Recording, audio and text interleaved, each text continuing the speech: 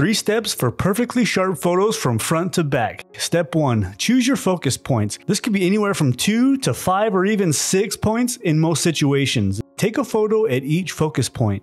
Step 2. Import all the photos into Photoshop as layers. Now I usually do this from Lightroom. You can also go into Photoshop, go to File, Scripts, load files into Stack, select your images and hit OK.